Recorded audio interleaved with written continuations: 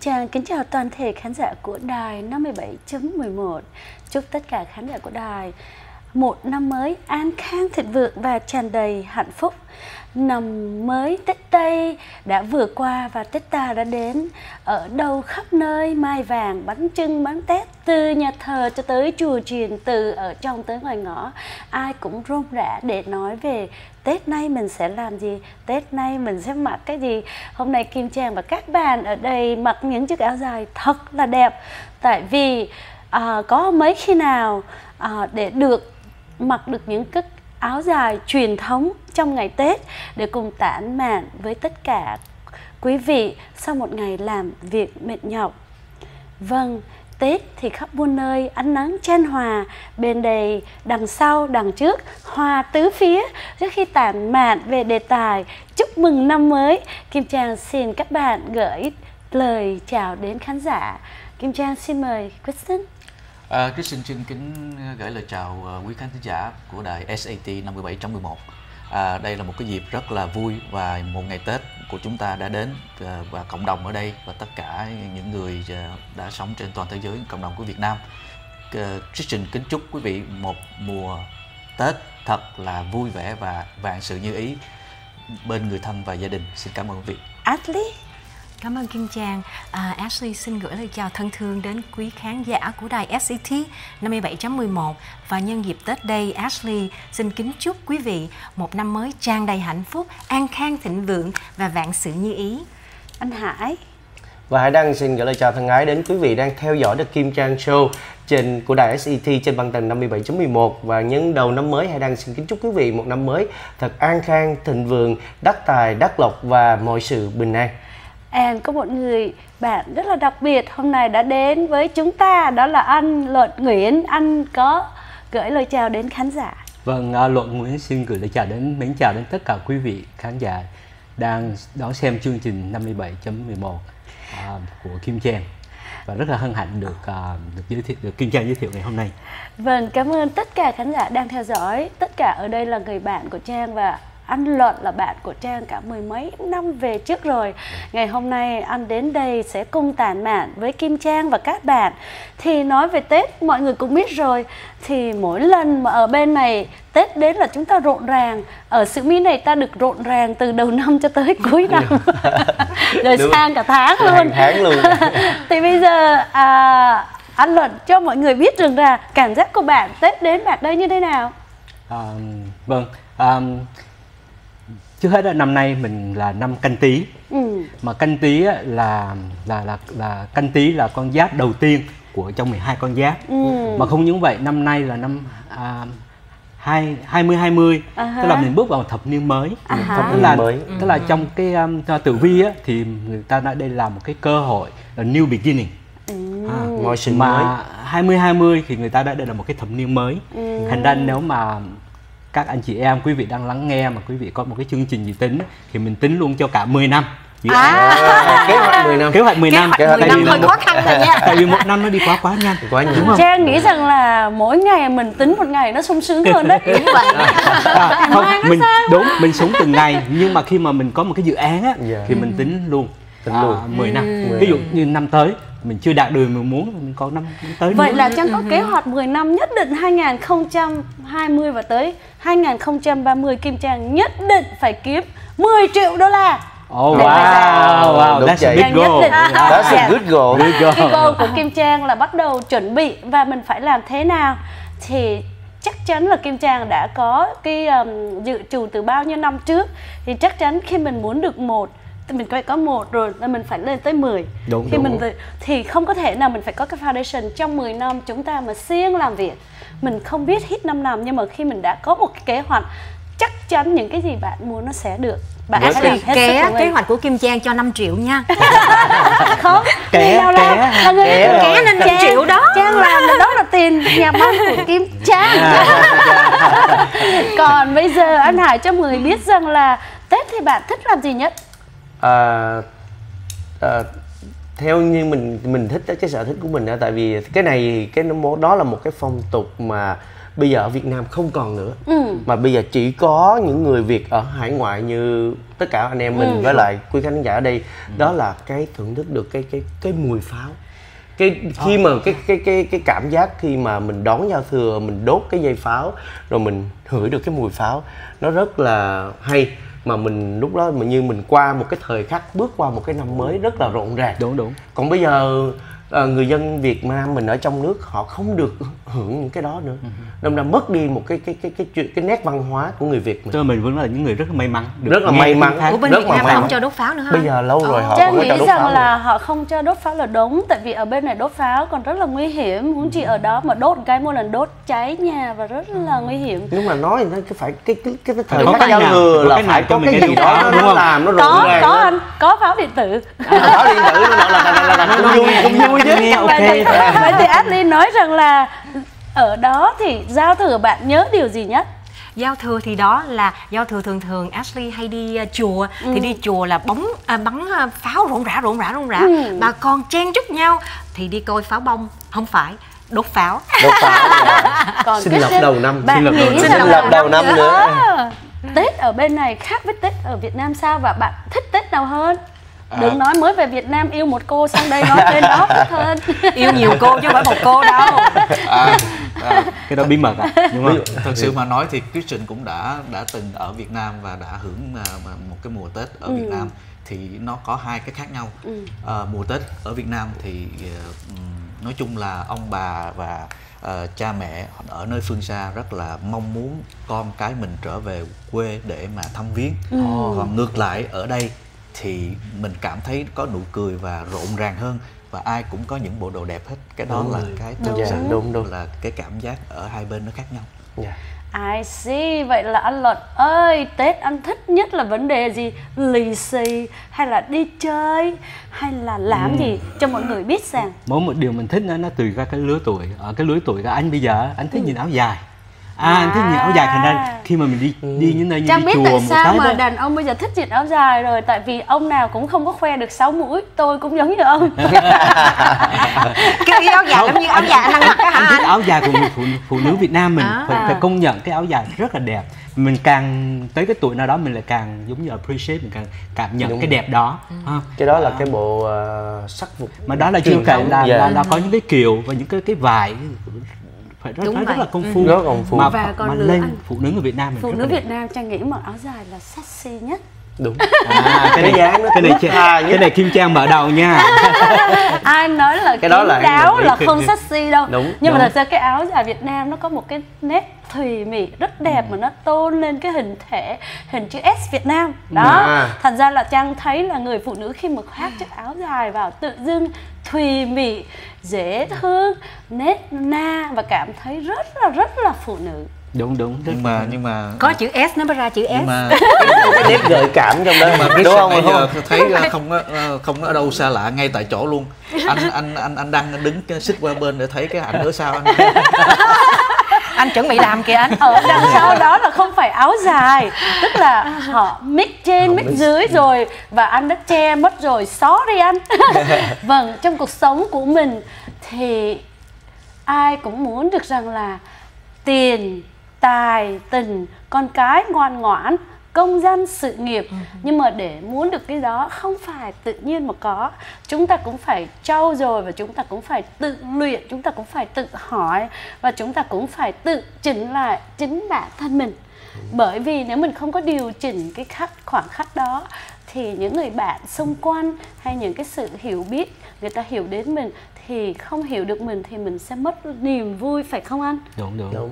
Yeah. đó thì thành ra trang nghĩ rằng là không có gì khó tại vì mỗi người trời sanh ra mỗi tánh giống như mỗi người mỗi áo nếu mà ai cũng giống nhau thì nó mất hương mất, mất hoa wow. thành ra nếu mà ai cũng yêu mình mình yêu thì nó dễ rồi ai ghét mình mà mình vẫn chơi được mình quen được nó mới là khó cho anh bổ túc thêm về cái áo dài xin vâng. lỗi hỏi anh Hải và anh Christine anh mặc áo dài bắt đầu mặc áo dài từ năm nào Dạ vâng, chúng ta sẽ trở về chiếc áo dài ừ. sau các nhà bảo trợ để quý vị oh, tiếp tục yeah. Được biết rằng là người Việt Nam chúng ta yêu chiếc áo dài như thế nào. Ừ. Cảm ơn mọi người đang theo dõi.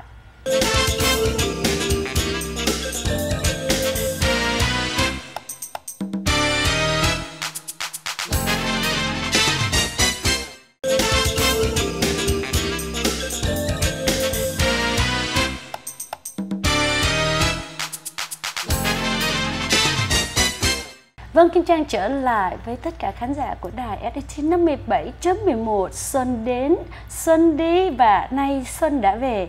Chiếc áo dài mọi người đã được thấy và đã được nói. Và bạn có biết không, Tết ở bên này rất là khác Tết ở bên Việt Nam. Ở bên này chúng ta, các con trẻ nó được sướng lắm. Cho tiền nó cũng chẳng thèm. Đồ chơi không thèm, đi chơi không thèm Mà cho nó chơi game thì nó lại thèm Nói chung là ở bên này Tết bên này Trẻ con khác với trẻ em ở Việt Nam như thế nào Họ rất là nghèo đúng không? Ừ. Thì anh Luận nói cho mọi người biết Ở Việt Nam khi mà đến thì các em nó ước ao được đi dự nhận ở Việt Nam. Ừ, Việt Nam. Thực ra thì anh uh, sang nước Việt Nam cũng rất là khá lâu. Dạ. Cái kỷ niệm của anh còn nhớ lại là, là dạ. Việt Nam cái mùa Tết á, nó có một cái không khí rất là đặc biệt, nó có một cái không khí uh, rất là đầm ấm với dạ. gia đình. Ha? Thì anh vẫn còn nghe cái tiếng pháo và cái cái cái phong tục lì xì nó nó, ừ. nó nó nó nó vừa được mặc những quần áo đẹp á ừ. mình, mình cảm thấy nó, nó nó sung sướng vô cùng qua đây thì các em nó nó nó được mình cũng rất may ngày. mình ở California thì mình vẫn giữ được rất là nhiều uh, cái truyền thống cái truyền thống đó yeah. Ừ. nhưng mà tuy nhiên nó cũng có một cái nó cũng thay đổi cái thay đổi đó thì mình phải chấp nhận và mình bổ túc yeah. cho nó tốt đẹp hơn. Bây giờ đi ra Tết người ta cũng mang quần áo đẹp truyền thống cho các con nhỏ của mình. Mình thấy xinh ơi là xinh. Anh ha.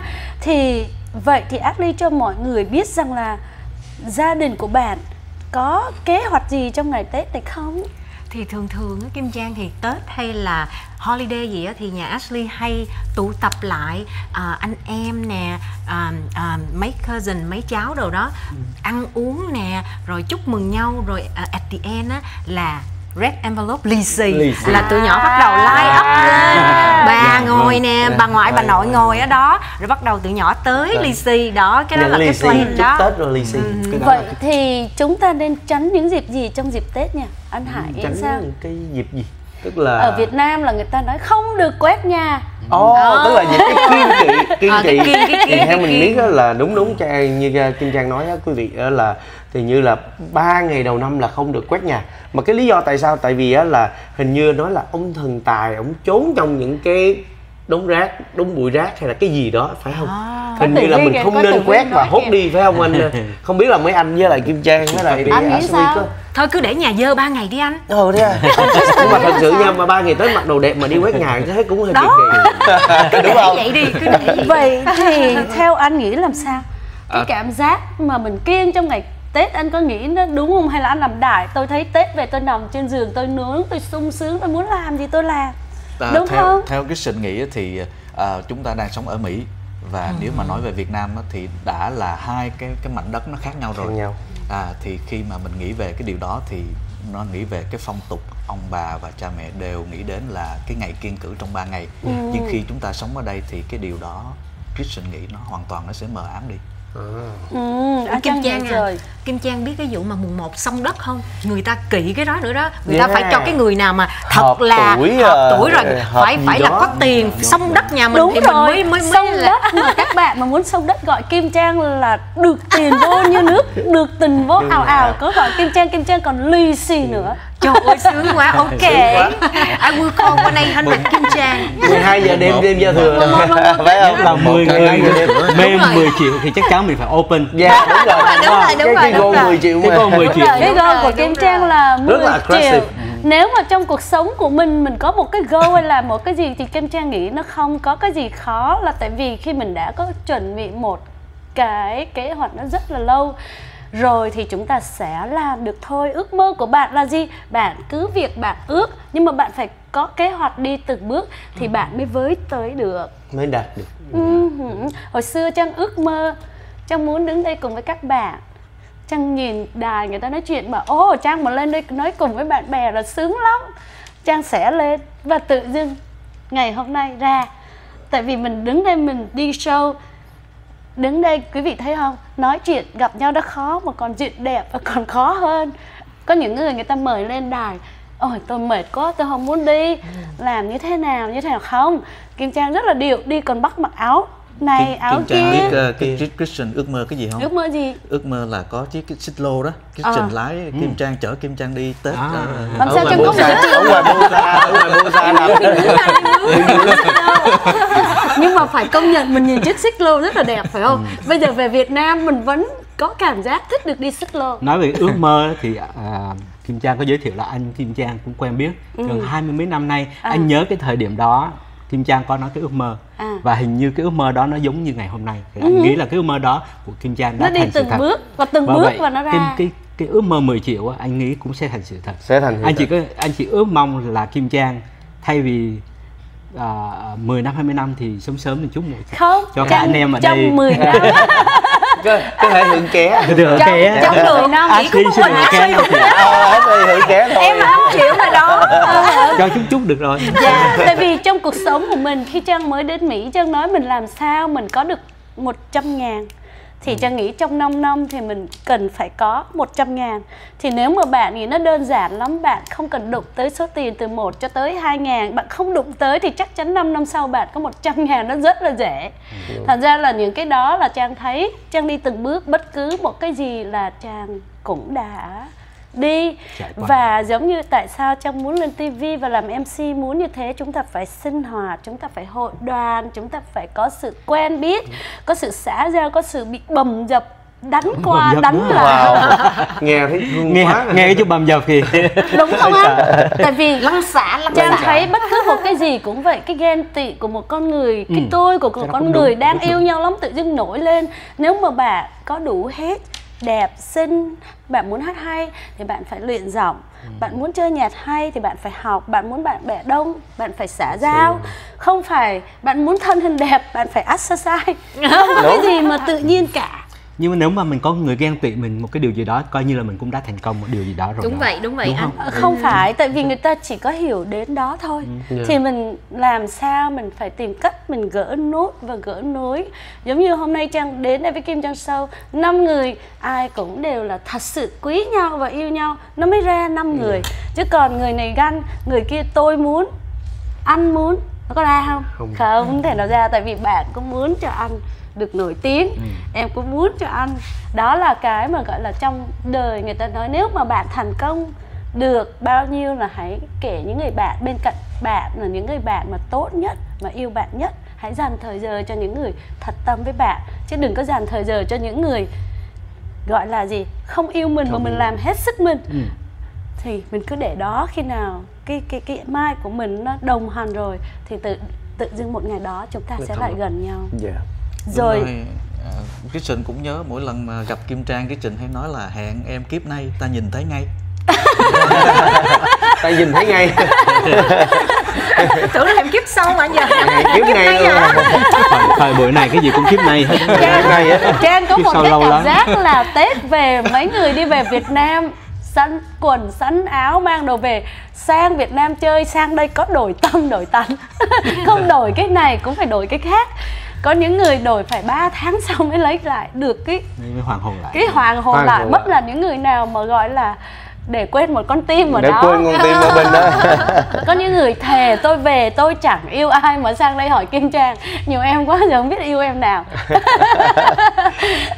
Nói chung tết à, chúng ta chúc cái gì đi? À, thì bây giờ anh luận là người mới tới anh luận ước mong cho tất cả mọi người điều gì trong tết Vâng, à, Tết năm nay thì dĩ nhiên là rất là đặc biệt. Năm Canh Tý 2020 thì Luận cũng xin chúc tất cả quý vị khán giả đang đón xem chương trình này có một năm thật sự là vạn sự như ý, muốn gì được nấy. Cái quan trọng nhất là mình muốn cái điều đó tại vì điều đó nó sẽ thành sự thật. Thành ra chúc tất cả quý vị có một năm an khang thịnh vượng. vâng còn anh chúc những cái gì thật là dễ thương thật là đặc biệt. Là chúc chúng sổ số nè. Chúc à, thì à, những cái lời chúc dễ thương thì theo mình nghĩ á, là uh, chúc quý vị một năm mà có thể làm sao mà tiền đầy túi nè thế chắc là chắc trúng sổ số rồi. À. Chứ ước ước mơ 10, 10 triệu. Quan trọng tình cái cảm. hai là tình cảm tình đầy tim. À, đúng không? Ờ, tiền thì đầy túi và tình thì tình thì đầy đầy tim. tim. đó. Người ta nói là tiền thì vô như biển còn đi ra chắc như giọt cà phê. Ra biển luôn mà vẫn là giàu. nhưng mà trước nhất là phải sức khỏe thật là dồi dào. Yes. thật là nhiều. Mình mới enjoy mình mới hưởng được những cái whatever nãy giờ tụi anh nói. nói đúng vậy đúng vậy. Phải có sức khỏe dồi dào. Đúng vậy. À, à, Christian cũng chúc uh, tất cả uh, những người đồng hương trên toàn thế giới và người Việt Nam chúng ta ai khi mà nghĩ về đến Tết đều cái điều đầu tiên là sẽ có một nụ cười rất là tươi cho dù mình có hoàn cảnh cỡ nào đi nữa. Cảm ơn quý vị. Dạ vâng, cảm ơn tất cả khán giả đang theo dõi của đài FPT nó 17.11 Và một lần nữa, Kim Trang và các bạn sẽ trở lại với tất cả khán giả của đài sau phần thời sự. Cảm ơn mọi người đang theo dõi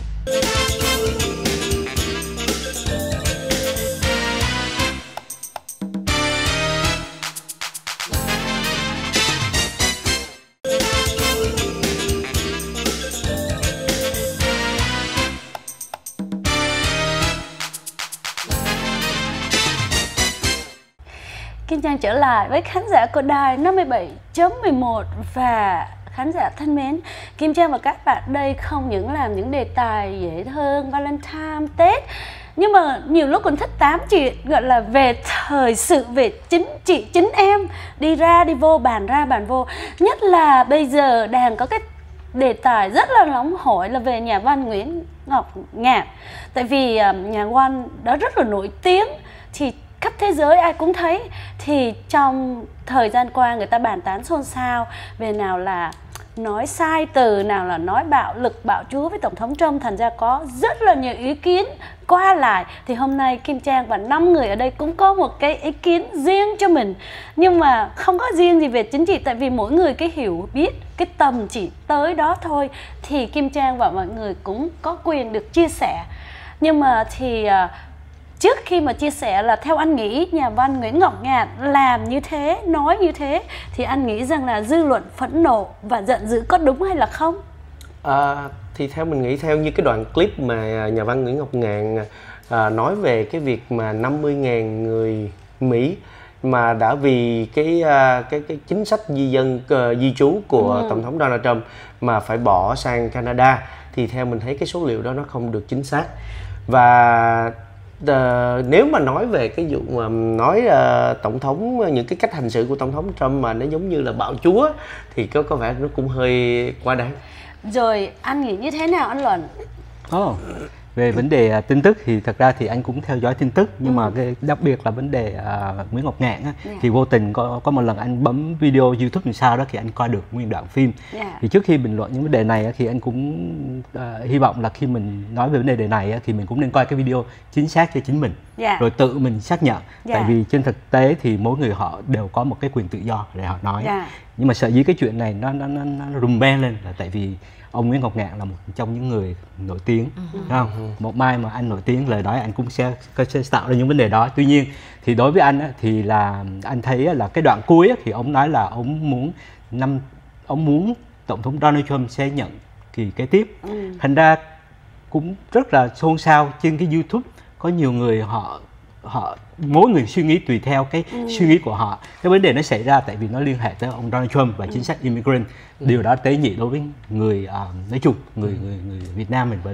những người thiểu, thiểu, thiểu số khác yeah. Dạ. thành ra anh chỉ có ý kiến là uh, mình nên coi lại cái video đó cho chính xác rồi tùy mỗi người nhận và mình cũng nên uh, nới, nhẹ nhàng nới, một tí nhẹ nhàng. tại vì à, thật ra thì mỗi người mình đều có một cái cái cái cái, cái ý kiến khác nhau mình không nên dùng một cái cái gì đó để mà mà mà làm cho cái cái cái lời nói của mình ý kiến của mình nó bị uh, không thể phát biểu được ừ. cái đó là điều hay nhất là mình đang sống ở trên nước tự do là okay. mình có quyền mình nói yeah. Dạ. nhưng mà cái hậu quả nói mình sẽ phải chịu ừ. thành ra cái điều đó thì rồi hiện giờ nghĩ sao về vấn đề đó thì ý Ashley cũng giống như anh luận gì đó tại vì mỗi người thì có mỗi cái cách tự do ngôn luận của người ta nhưng mà tại tại vì à, nhà văn Nguyễn Ngọc Ngạn đã nổi tiếng nên bị người ta bàn luận xôn xao thôi. Chứ nếu mà Ashley nói đâu có ai bàn luận đâu Kim Trang. Anh à, thì ờ, cũng một cái thời gian mà Christian cũng không có mặt ở ở ở Mỹ này. Ừ. nhưng mà cái khi về thì ờ, Christian cũng có theo dõi một chút về vấn đề bác MC Nguyễn Ngọc Ngạn à, thì theo cái cảm nghĩ của Christian thì à, thường thường ở đây thì ai cũng có cái quyền tự do à, à, tự do ngôn luận và tự do mình thảo luận bất cứ cái điều gì mình muốn. Ở cái xứ Mỹ này là là mình được cái cái cái quyền ưu tiên đó. Nhưng uh, theo Richard nghĩ thì bác Nguyễn Ngọc Ngạn là một người về văn. Uh-huh. thường thường họ có nhiều cái chiều sâu lắm. Thì cái khối óc của Christian chỉ tới chừng này thì Christian cũng không đoán nổi là cái mặt trái của bác sẽ có cái Muốn ý cái ý gì? tưởng gì Ừ. nó xa hơn. Thì, thì đó là cái mà Christian nhìn thấy đơn giản thôi. Vậy nói tóm lại, theo Kim Trang nghĩ rằng là Tổng thống Trump Trang cũng rất là thích. À, Nhưng mà nói về bạo lực hay bạo chúa Chắc chắn trong cái thời đoạn này rất là đang nhạy cảm Nhất là cảm. Tổng thống đang chuẩn bị mà gọi là để được bầu cử lại một lần nữa. Thì cái này nếu mà không có trong cái thời đoạn này. Không có bị trong khi đó cả Việt Nam cũng đang rất là trông chờ về tổng thống Trump. Rồi ở đây ai cũng thích cả. Thành ra khi đụng đến cái là người ta phải đứng lên người ta bảo vệ thôi. Xôn xao. Xôn chứ còn nếu mà tổng thống mà đứng trước mặt mà ông có chửi tổng thống trước mặt tổng thống chắc cũng sẽ cười hì hì.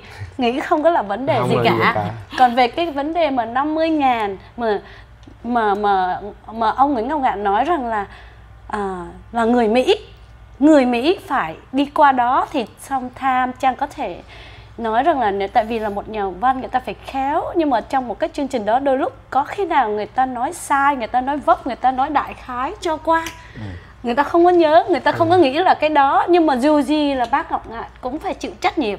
Tại vì là người của công chúng thì phải rất là kỹ lưỡng nói là phải chính xác còn không thôi thì đừng nói nói là chắc chắn là phải bị hiệu quả. Mặc dù là có người rất là thông cảm cho bác Nguyễn Ngọc Ngạn.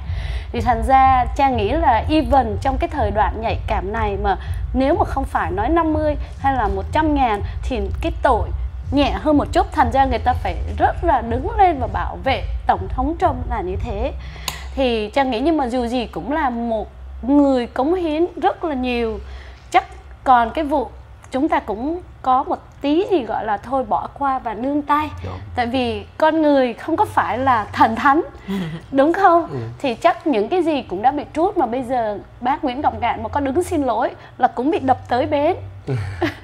Khó lắm thôi để thời gian ngồi qua Trang tin rằng là sẽ có một ngày nhà văn Nguyễn Ngọc Ngạn đứng lên xin lỗi với quần chúng. Hy Hy buộc phải làm như thế. xin lỗi. Còn nếu mà Hy không có thì thôi, lúc nào cũng bị trong cái phạm vi gọi là người ta sẽ nói là biết, nhưng mà vẫn cứ cố chấp thì đành phải chịu cái tiếng của người ta thôi. Thì Trang nghĩ nó là như thế đúng không? Đúng vậy. Đúng vậy. quá chính xác quá chính xác. thì that's right.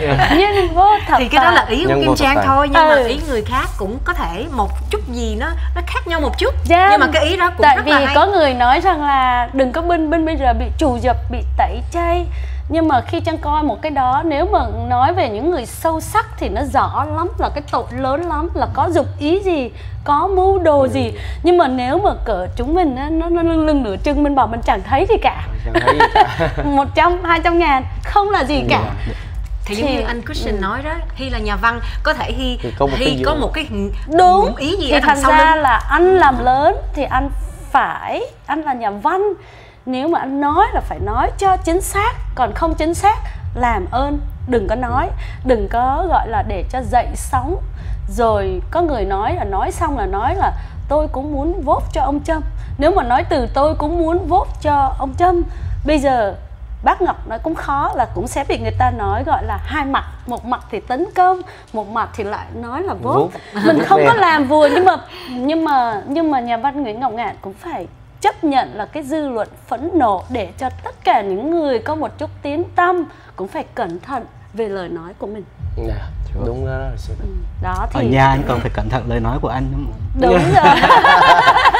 Huống gì mình ra cùng À, chúng ra cùng chúng chúng. à. À, dù gì cuộc sống Tết này chúng ta cũng cần phải sự tha thứ và cần sự an toàn. Cuộc sống chúng ta muốn sự an toàn là vấn đề gì cuộc sống an toàn là mình phải cần mua một cái bảo hiểm nhân thọ Kim Trang à. Dạ Chính xác. vâng cuộc sống của chúng ta nó không chỉ cho trong riêng mình mà cho những người thân của mình. Bận rộn quá chúng ta cần phải có một cái gì an toàn cho mình. Mình góp tiền rất là khó và mình trúng số cũng rất là khó. Nhưng mà bà bỏ ra một số tiền rất là nhỏ để đổi lại cái an toàn cho bạn. Mình ăn một tô phở mình ăn một ờ, uh, hẹn bạn nhau mình hãy dàn ra mình mua bảo hiểm nhân thọ cho mình cho bản thân mình. Tại vì thời buổi bây giờ cái bảo hiểm nhân thọ bạn có thể lấy cái tiền đó ra xài trong khi bạn đang còn sống lỡ có bị bệnh hoạn gì hay là bị tàn tật hoặc là không làm việc được thì bạn sẽ lấy cái số tiền đó ra dùng cho chính bản thân bạn.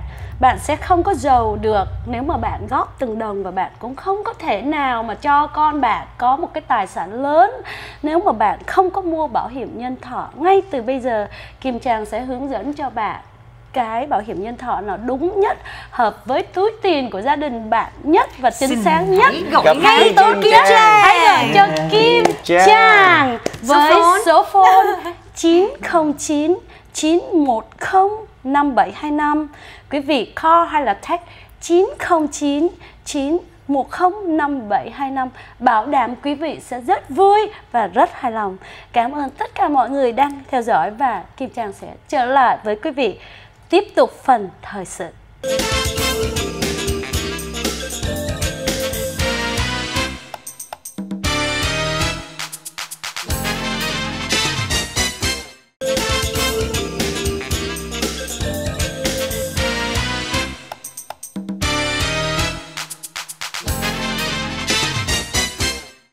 kính chào trở lại với khán giả của đài 57.11 tiếp tục tản mạn với đề tài nóng hổi vừa thổi vừa ăn. Mình đang nói về các nghệ sĩ là Nguyễn Ngọc Ngạn.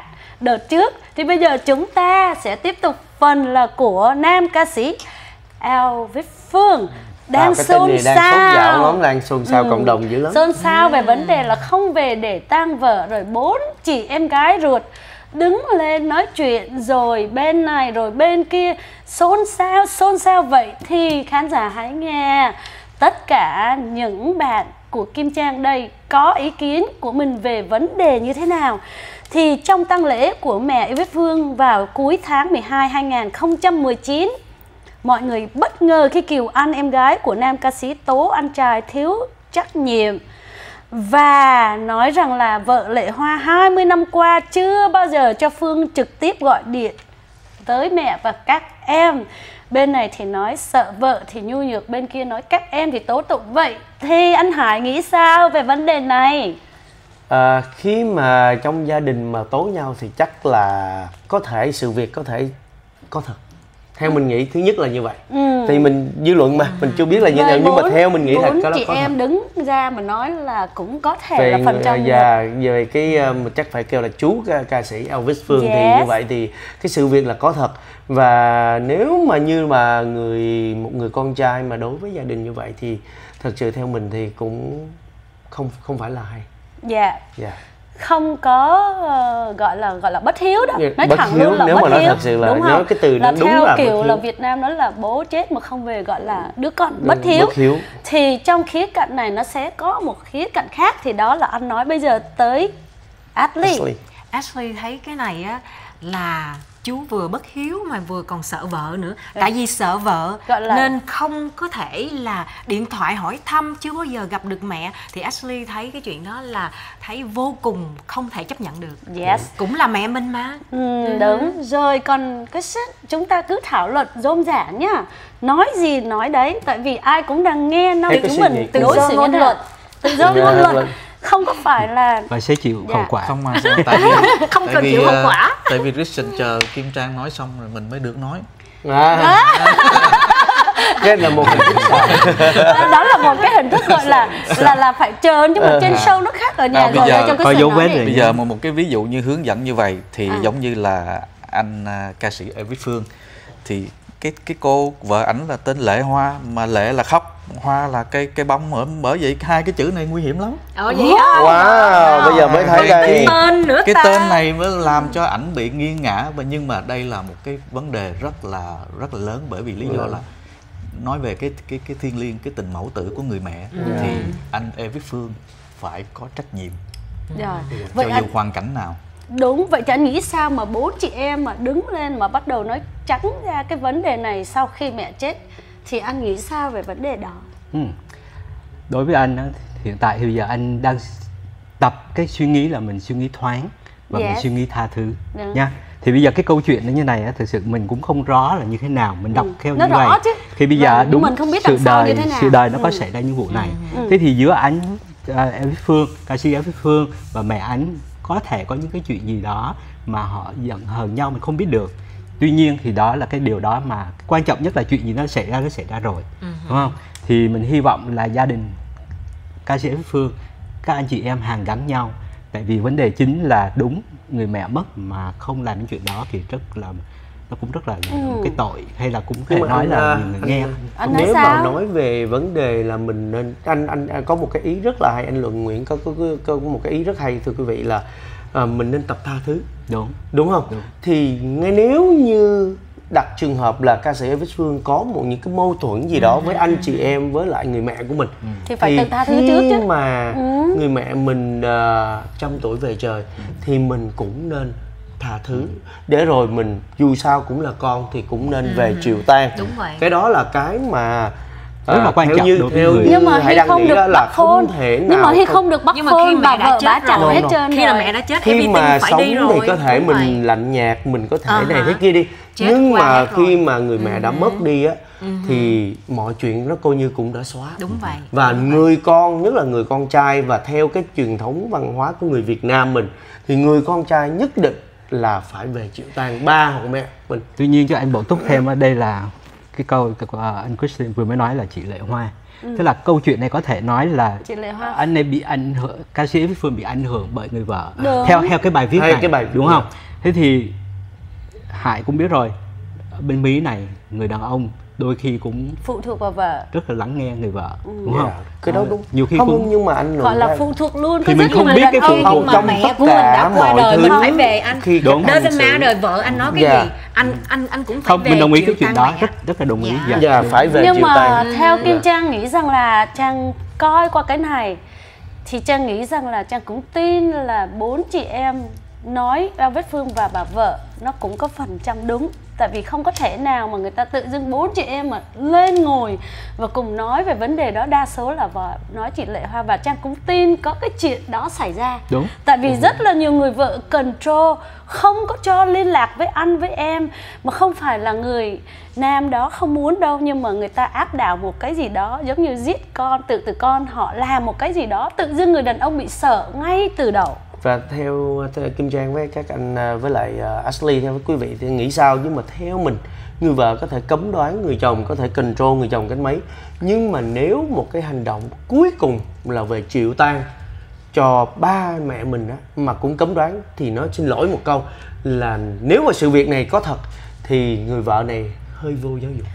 À, Cái đó là mình nói Trang thẳng. nghĩ Phải nói là đổ- mình nói thẳng là no, như vậy. Trang nghĩ không có đổi lỗi cho người vợ phần trăm là cũng lỗi là của người đàn ông một người đàn ông mà Nhu bị người vợ quá. nói như vậy quá. ta Nhu phải quá. dùng là cái từ gọi là nhu nhược nhu nhược và nếu mà nói vào về cái tội không về tang mẹ cũng phải dùng đúng là cái từ gọi là bất hiếu bất hiếu nhưng mà mình phải hiểu sâu được rằng là ở đằng sau thì phải có bị cái gì thì mới như thế đó thì thôi cái gì mình cũng phải bỏ qua hết đi tại vì mẹ chết rồi mẹ cũng không muốn cho con cái cãi nhau để làm gì.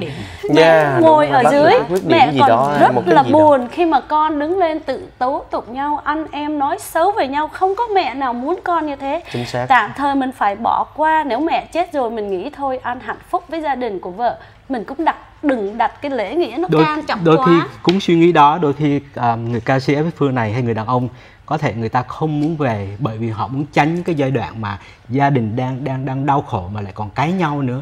Thành ra đôi Vâng. khi nó cũng có cái lý do mình không ở trong cuộc mình không thể biết được. Vậy nhưng mà dĩ thì- nhiên mình có thể như anh nói là mình có thể mình nên tìm hiểu và mình học một bài học là gì.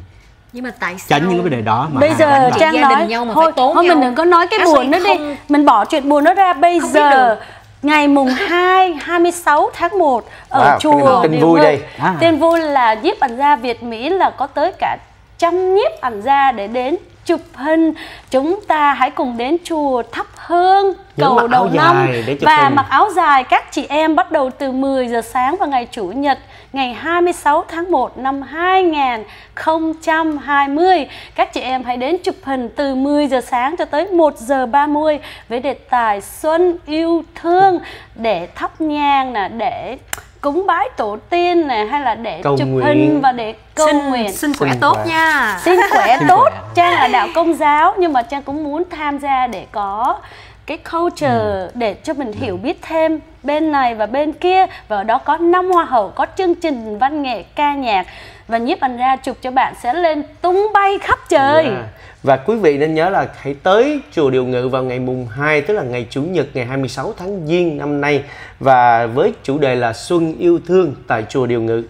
Cảm ơn quý vị đang theo dõi và đừng quên The, The Kim Kim Trang Show SET 57.11 Bye bye Cảm ơn. Xin chào. Thank you.